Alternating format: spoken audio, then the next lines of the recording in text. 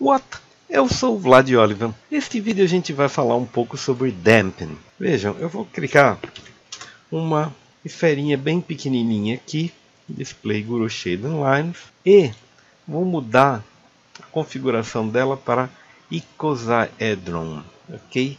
É uma bolinha diferente. Neste outro vídeo que eu já mostrei para vocês, ok? Eu vou pegar este, esta textura aqui, eu posso dar um Ctrl C nela Windows, volto aqui, Ctrl V e aplico, ok? Apenas para a gente ter uma texturinha bonitinha, ok? Não, ainda aqui vou pegar um cilindro, vou pegar um cilindro em, em Z, em Z, ok? Este Z ele tem aproximadamente 200, vou dar 100, não, vou deixar em 200 mesmo ok? E vamos fazer o seguinte, vamos tirar os caps, e assim eu consigo ver a nossa bolinha, e no slice, vou clicar no slice e, ou seja, eu tenho esta configuração aqui, ok? E esta configuração aqui, se é que vocês se lembram, vou com Sphere aqui, vou botar ela num cantinho aqui, é eu posso começar, vamos lá, a colocar as minhas simulações, Collider Body, no cilindro, é, Simulation Rigid Body. O que vai acontecer? Tuf, vai acontecer isso aqui. Eu já mostrei para vocês, vocês já sabem por que o cilindro está é, tá com esse problema. E eu vou precisar Vamos ver o que acontece se eu venho aqui no meu cilindro, vou até subir ali um pouco mais, e no cilindro, aqui, eu tenho um collision automatic, eu vou colocar um static mesh, ok? Vamos ver o que acontece. Acontece isto aqui, ok? Basicamente, existem uns vídeos muito bacanas de um cara chamado Vannerstedt, ok? Que mostra um contínuo, ok, um looping de esferinhas fazendo esse tipo de, de, esse tipo de simulação, mas eu posso afirmar a vocês que não é isso que ele usa, ok?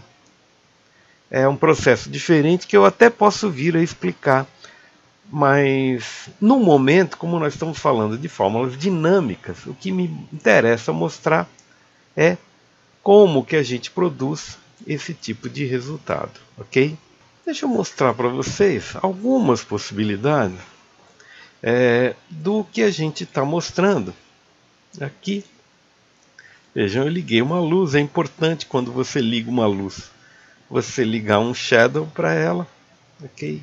Vamos até vou dar um shadow map soft mesmo, aumentar o número de é, de shadow, ok? E vou fazer o seguinte vou criar alguns, algumas coisas aqui.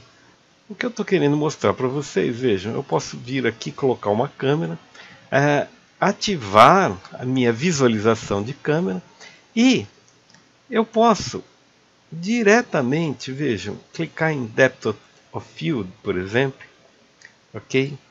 E nesse Depth of Field, vamos mudar isso aqui para 1.4. Vejam que a gente consegue um processo de desfoque aqui bem maior. Vou tentar 3.2 no nosso objeto aqui. E ele, mesmo na visualização mais de preview, eu consigo ver detalhes que, do que eu estou fazendo. O Cinema 4D R19 permite esse tipo de estudo de acabamento, ok? Vejam que uma das possibilidades, eu de propósito aqui vou ampliar bastante o meu depth, depth of field. Vejam o seguinte, vou mostrar algumas coisas para vocês que são possíveis. Uma delas que é muito interessante é, por exemplo, eu coloco a minha sphere como foco do objeto e vejam, só ele está focado agora, enquanto o restante do,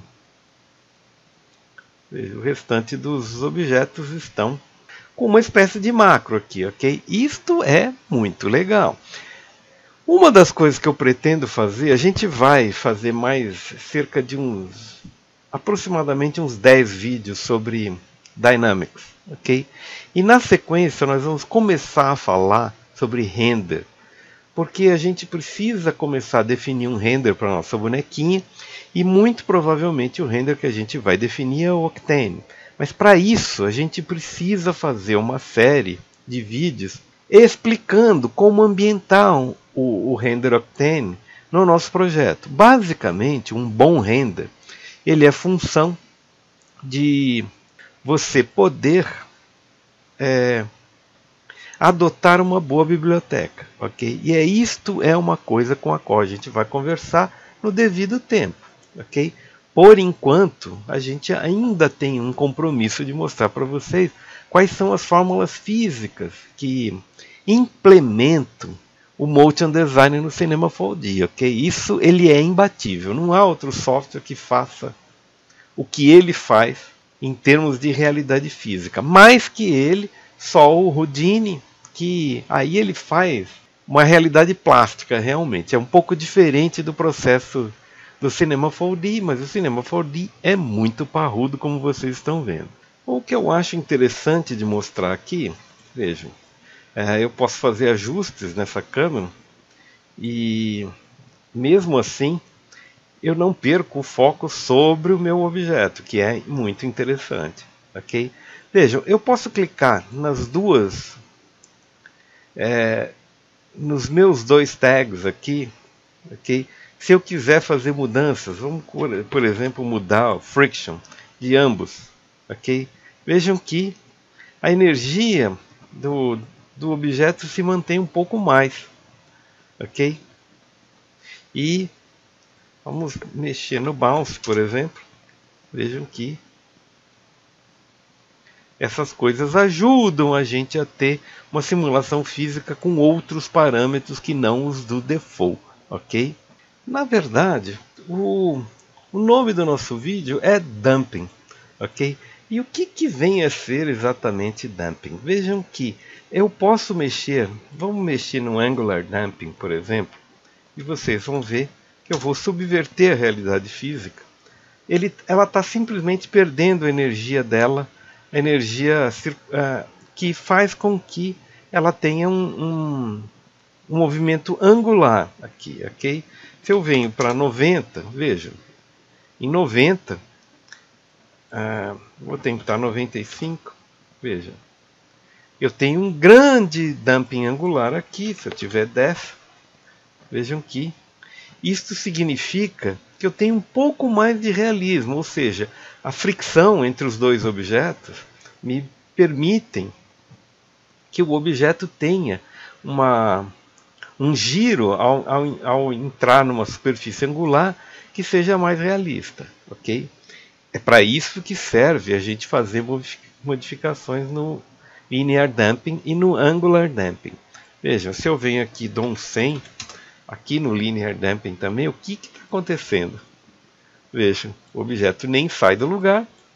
Se eu der 90, o objeto tem uma freada muito brusca, ok? Se, por sua vez, eu dou um, um 10, ok?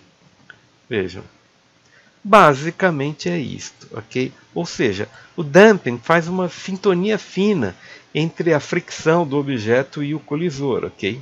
E isto é importante quando você quiser objetos com mais realidade física do que normalmente a, a condição default que o software apresenta, ok? Vejam o que acontece, por exemplo, se eu dou uma, uma condição ótima aqui, que seria bastante angular damping, e pouco linear damping, ok?